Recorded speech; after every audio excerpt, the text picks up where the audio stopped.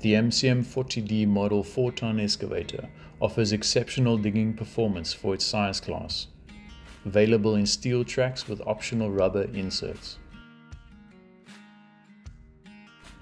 The 40D is equipped with a 0.1 cubic meter 500 millimeter wide general purpose bucket and comes equipped standard with auxiliary service ports for installing hydraulic attachments. This model features boom swing functionality, ideal for digging around obstacles or cycling in areas too narrow for cab rotation.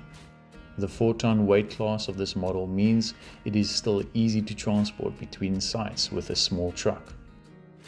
The 40D is powered by a trusted 36.8 kilowatt Zhongchai 4-cylinder diesel engine with sufficient engine cab space for fast maintenance. The 40D is 1.6 meters wide, 2.2 meters high, and has a maximum digging depth of up to 2.5 meters.